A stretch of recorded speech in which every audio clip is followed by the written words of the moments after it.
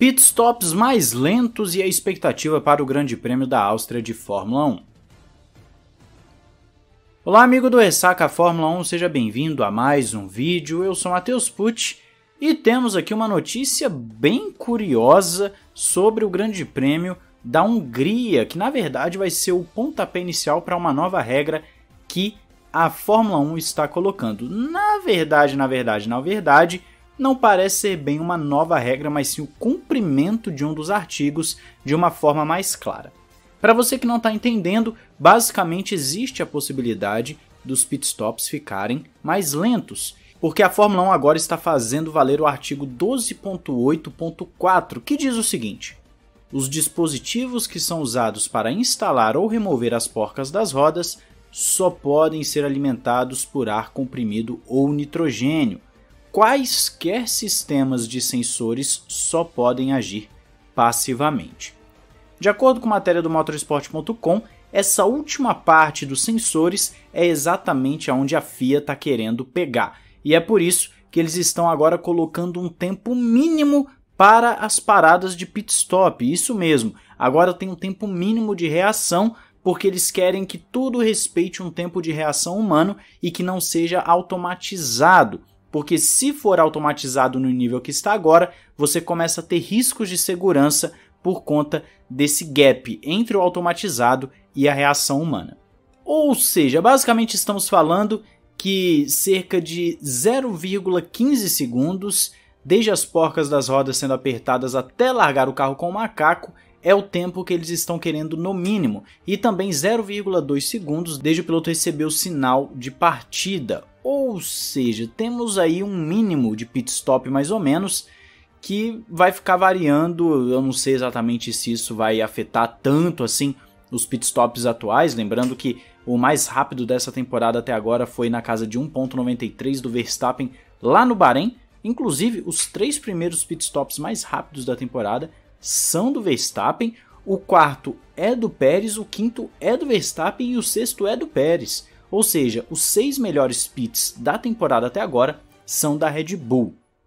Isso chama bastante atenção e eles são seguidos, o top 10 dos pitstops, por Stroll, Russell, Raikkonen e Stroll de novo. Nós não temos pitstops, por exemplo, da Mercedes ou Ferrari aqui. Nós só temos basicamente Red Bull, Williams, Aston Martin e Alfa Romeo.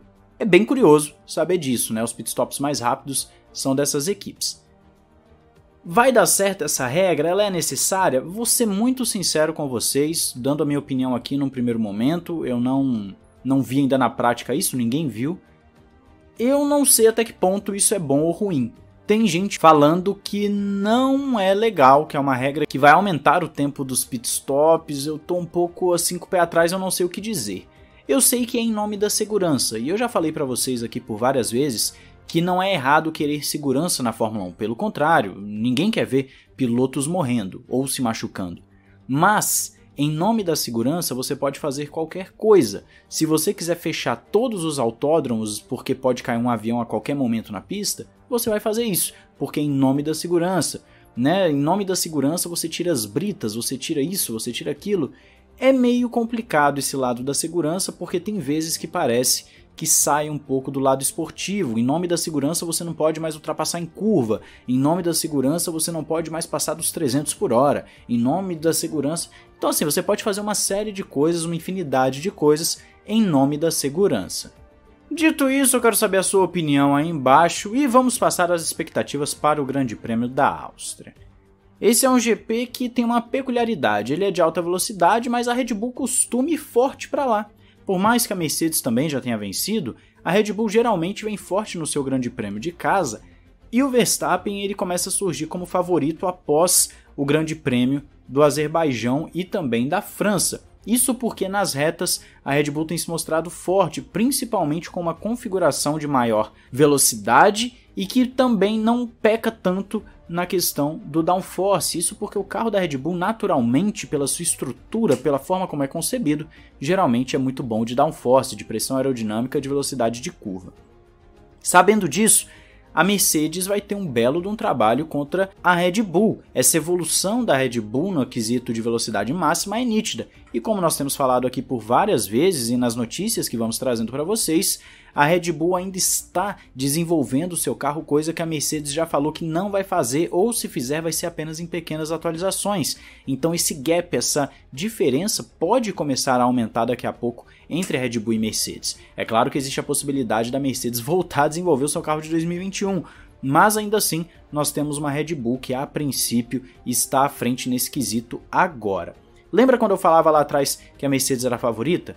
Pois é, isso por conta do tratamento de pneus. Mas determinadas configurações já se mostraram ruins para Mercedes, e se isso acontecer novamente na Áustria, a Red Bull pode ter a carta na manga com a velocidade e os pneus a Mercedes tende a ter problemas com temperaturas elevadas, e nós vamos ver na Áustria como vai estar a temperatura para o final de semana. Se na corrida tiver uma temperatura elevada, a Red Bull pode ter uma vantagem sim.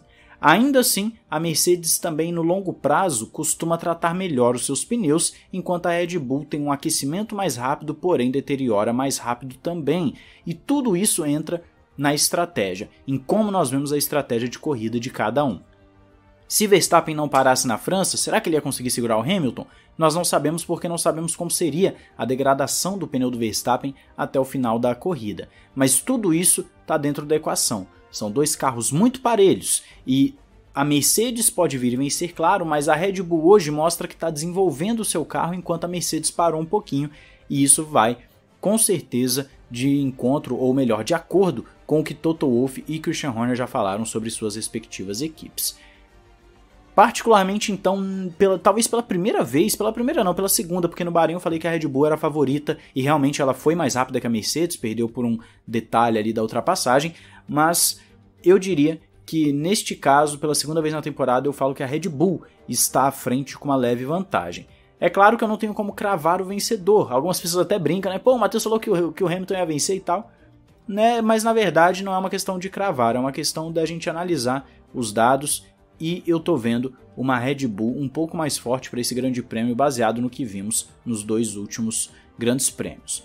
Quanto ao meio do pelotão, a Ferrari começa a ficar para trás e a McLaren começa a nadar de braçadas naquele meio de pelotão, enquanto a Aston Martin também está subindo, já que a Aston Martin também confirmou que vai sim desenvolver esse carro de 2021 para ganhar terreno. Ou seja, a briga ali no meio do pelotão vai ficar muito boa, não podendo esquecer também de outras equipes como o AlphaTauri ou talvez, quem sabe, uma Alpine aparecendo para fazer uma brincadeira? Pode ser também, mas a Alpine é um carro muito inconstante, né? Num grande prêmio vai bem, no outro vai mal, é um pouco estranha a Alpine. De resto, Williams, Haas, essa galera vai ficar lá para trás mesmo, muito dificilmente vai ter algum resultado atípico ali, mas a briga tá na frente. Quem vai vencer? Red Bull ou Mercedes? Quem vai melhor? Quem vai ter o melhor ritmo? E quem vai ter a melhor estratégia? Já que nem sempre o mais rápido tá vencendo. Diz aí nos comentários a sua opinião, deixe seu gostei, se inscreva e veja o novo Grande Prêmio de Abu Dhabi lá no Ressaca F1 Express que eu postei para vocês quais são as novidades. Um grande abraço, valeu e falou!